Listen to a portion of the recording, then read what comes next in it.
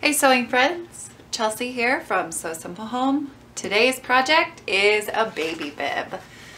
So the first thing that you're gonna need to do is grab the pattern. You can get it for free. The link is in the description. It'll take you over to our blog with the photo tutorial.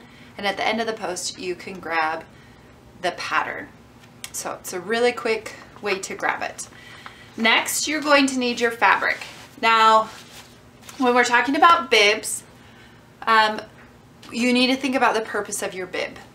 Uh, is the child going to be eating in the bib? Is it just for a drooly baby? Um, what, what, what, are you going to be using the bib for? So for this uh, pattern that I'm making today, I'm going to use it as a bib for feeding. And so I have a laminated cotton fabric here that I'm going to use. I've had this for several years. In fact, I've made a couple of different baby bibs out of this fun material. So that's going to be my main fabric. The back is just going to be this uh, simple orange material. It's just a cotton fabric. Now, if you are going to make a bib for a baby that's drooly, um, you could use a, um, a fabric that has a pile to it. So like um, a towel type fabric. Um, you could maybe use flannel, um, you could use something really soft um, where you can wipe off the drool and, and whatnot. So um, your materials may vary depending on how you're going to use this pattern. But let's go ahead and get started. Um, the process of actually cutting and sewing will be the same. So we can get rolling here. So for this particular pattern, um, it will be on the fold. The finished pattern will be on the fold. So I'm going to fold my fabric in half here, here. And I have a directional fabric, which means my elephants are all going the same direction. They're not turned or flipped. So that's going to make a difference in um, how I put the fabric on the fabric, or how I put the pattern on my fabric and how I cut it out. So I just have it on the fold there. I'm using my little um, fabric weights here. Sorry, I have words, I promise, just not really today. Go around the corner here.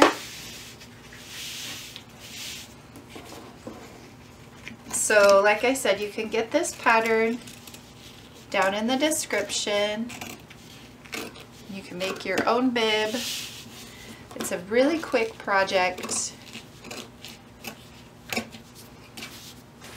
Now let's cut out our lining piece. And like I said in the introduction, the lining can be really anything you want. Um, that's the nice thing about this project because it's just a really easy bib we're going to just cut out a chunk of material here. Because this is um, such a small project with the amount of fabric, you can make several bibs very, very quickly. And like I said, you could use a terry cloth, um, which is the material used for making towels, if you wanted to make this bib for a child that spit up a, a lot or was really drooly.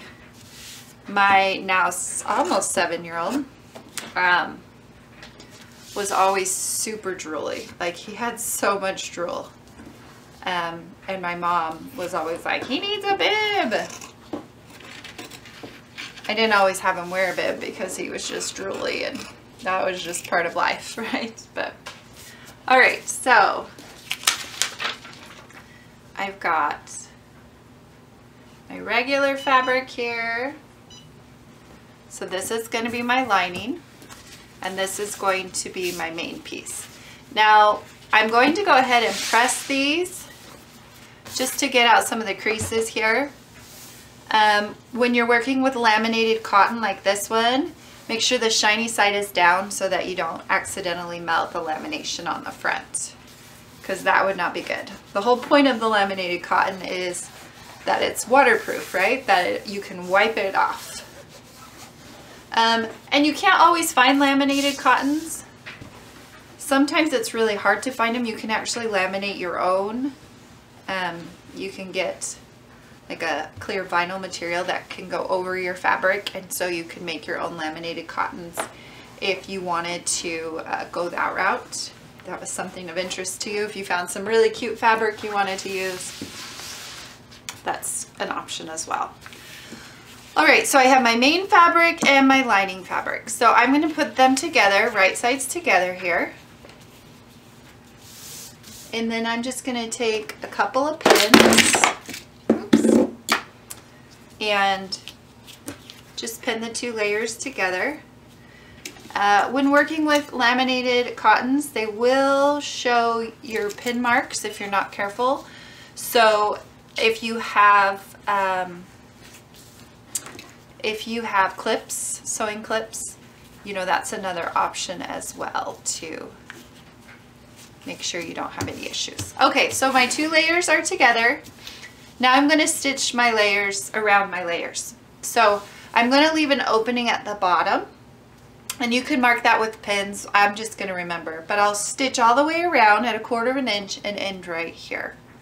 So I'm just going to go ahead and put it in my machine, forward and back stitch, and then I'll just continue around the bib at a quarter of an inch.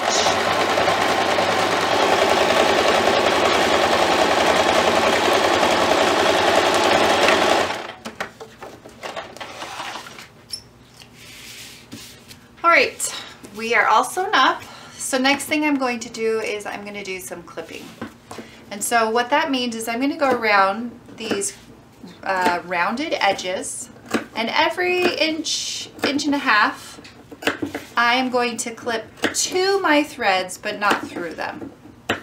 And I want to do this because when it comes to rounded edges, they don't lay flat very well on their own because they're round, right? And we've just sewn basically a straight stitch through these rounded edges.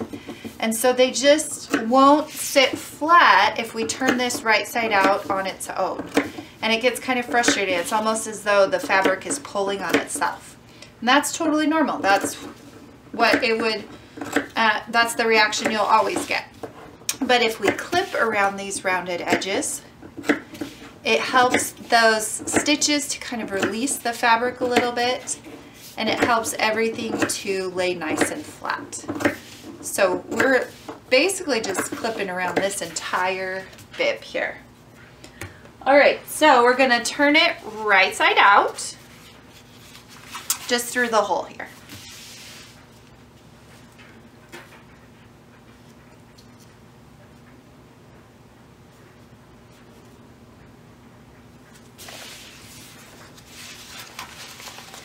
And I usually try and come up to the very top of the bib up here and pull the material through. And then come to the opposite side, weave my finger all the way through to the top and then pull it through. Now we only did two layers for this bib. If you wanted to be a little bit stiffer, you could most definitely put a layer of interfacing inside. Um, that would give it a little bit more stability. It wouldn't be as um, malleable. It'd be just a little bit more um, stable, if you will. Uh, but that's definitely another option. Um, we are going to put a little bit of Velcro hook and loop tape on this and uh, that will if you had a little bit of interfacing on that that would help it to last a little bit longer so it doesn't pull through the fabric or rip the fabric out. Now you can see I have this little, this is a little paintbrush that I have and I'm using that to kind of push um, the rounded edges of the bib out and you can just kind of see it helps keep that or start keeping that shape. So I'm going to turn this bib over and I'm going to press it.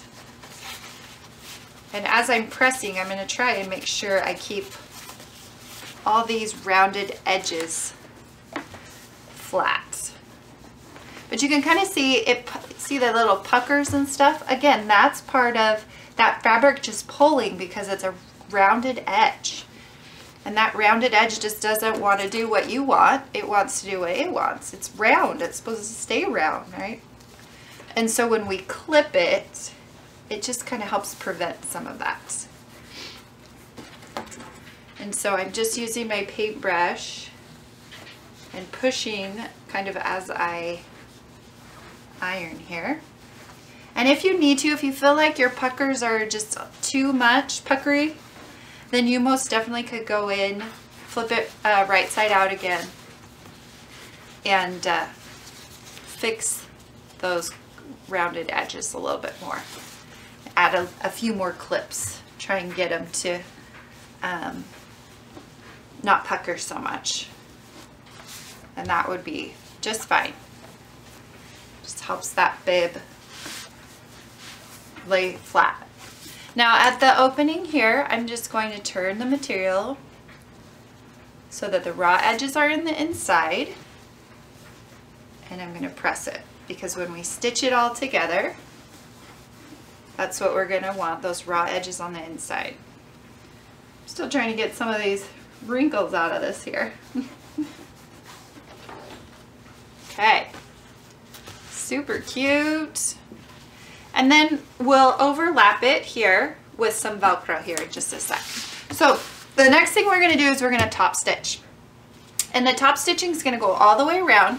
It's what's going to close this, um, this opening here at the bottom. Now you don't necessarily need to top stitch the entire bib.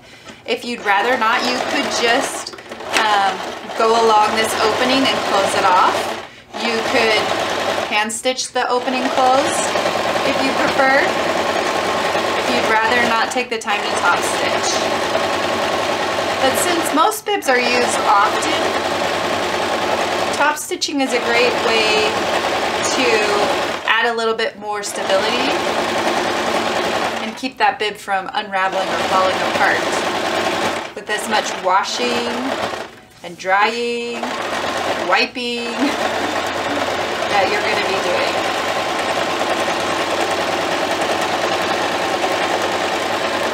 So I'm just going around here with my little top.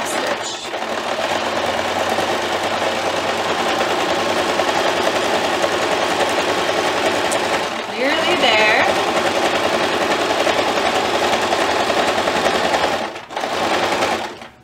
One thing you do have to be careful of when you're working with laminated fabric is that it does tend to get caught in your machine a little bit more.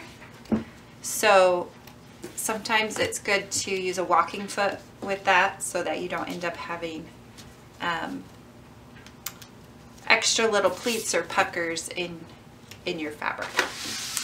So I'm just going to take my little iron here press it on the wrong side. If you want to press on the front, you can. You just want to press through uh, a material again so you don't end up um, melting your fabric.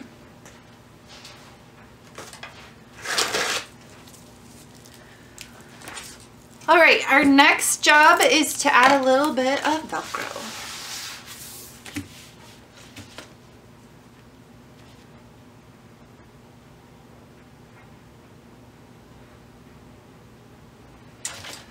All right, next we're gonna add our Velcro. And you just need about an inch of Velcro, probably not even that. You could probably even use less.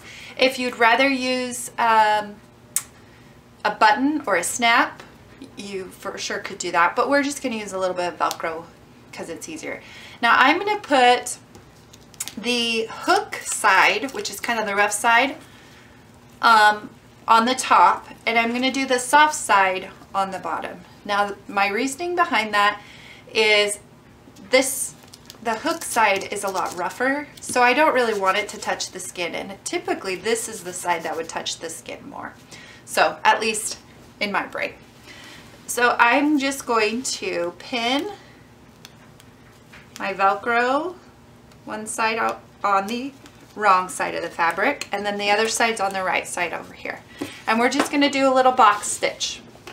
So I'm putting it in my machine. Going forward, turn, down, turn.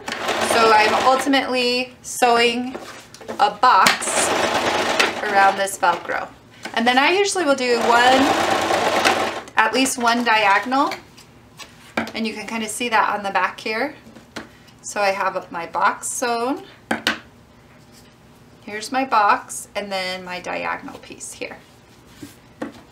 And that just uh, adds a little bit, again, more stability. Okay, and then my other piece here, up and off, same thing, just a little box stitch. This one's going to be a little bit harder because I'm sewing the, the um,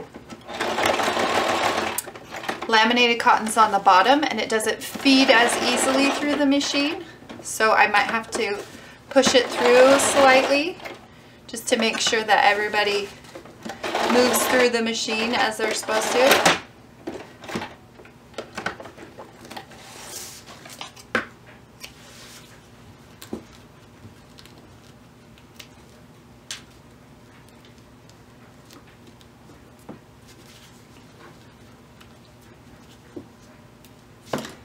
All right, there's my bib. I've got my Velcro on one side and the other clips. This goes around the neck. Um, I would say that this bib is made for probably 3 to 12 months. Um, you probably wouldn't want to use it after that because you're going to maybe need a little bit more shoulder space. But it's super simple. It's very cute.